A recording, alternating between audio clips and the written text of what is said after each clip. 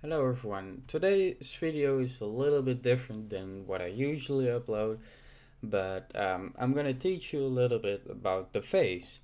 And since I didn't want to use some, some random face, I asked my friend while he was streaming to use his face.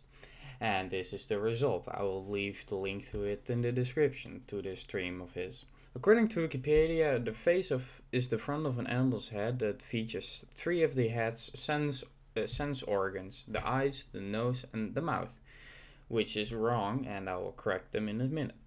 The eyes and uh, and through which animals express many of their emotions. The face is crucial for human identity and damage such as scarring or development development that word deformities affects the psyche adversely perfect nailed it completely nailed it but that is wrong. Like here you see they use the eyes, the nose and the mouth and and instead of teaching you organs like the liver, the stomach, who, no, nobody cares about that, you know? So let's just go go over the organs of the face.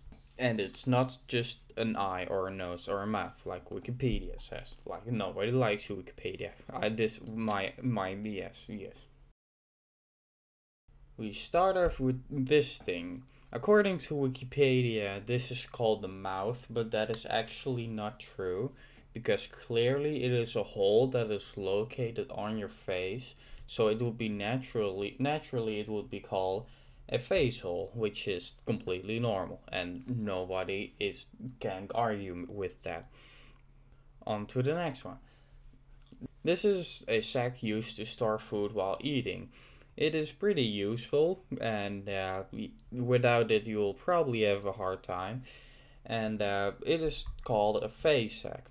Speaking of face sack, that brings us to this video sponsor. Ever heard of a game called Growtopia? Well, in Growtopia, there is this amazing world called FaceSack, and that which is the sponsor of this video and it is a very good shop. It has a cheap SSP area, wow, look at these cheap prices. And it also has a mildly expensive other shops, but, but that doesn't matter. It is not really cheap, but it just go check it out and buy stuff. It is definitely not my world. No, not not at all. Okay, let's continue with the video. This is clearly two caves that are located on your face which is why we call it a dual face cave, short DFC.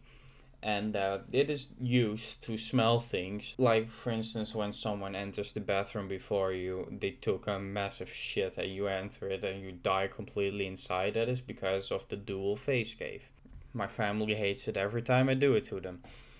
Anyways, let's continue. Next up is this thing. It is clearly a ball located in your skull. It kind of looks like when you hold a ball from a ball pit, but instead of it being a ball, it looks like an eye. And it's located in your skull instead. So that's why we call it a face ball. Do you see this thing? It, you can't really see it that well in the picture, but I can assure you it's there.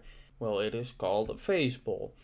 And do you know why it's called a face bowl? Well, let me explain. Do you know the painter Vincent van Gogh? Well, he cut off his face bowl so he can uh, make a ball of it. And he used flex tape to seal the hole that is in there, so to prevent leakage. And that that is why it is called a face bowl. Pretty logical, right? And uh, yeah, this is the end of the video. I hope you learned some biology and that this will probably help you on your exams.